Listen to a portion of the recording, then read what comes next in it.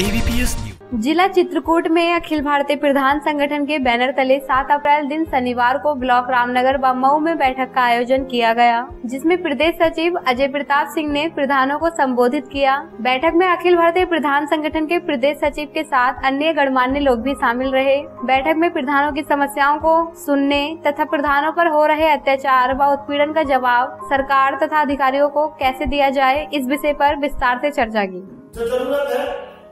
वो संगठन की मजबूती की है। इसीलिए हम लोग जा रहे हैं सभी जगह, और जिला स्तर पर नहीं, अपने ब्लॉक स्तर पर जा रहे हैं। समय कितना भी नहीं। ज़्यादा समय नहीं लगेगा ब्लॉक टू सौ बाईस। अधिकार मिले गए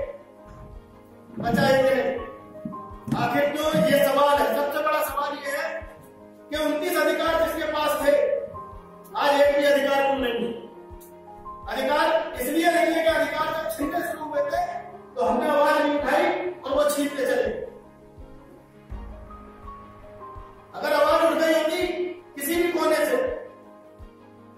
प्रदेश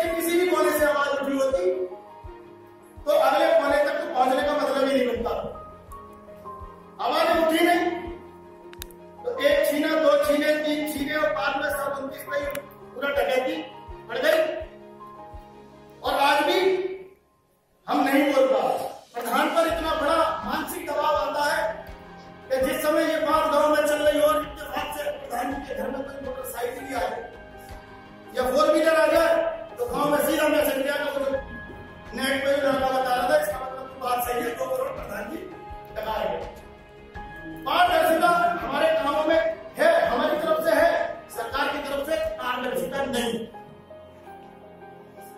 उसकी भी वजह हमारा बिखरा बिखरे रहे कुछ नहीं होने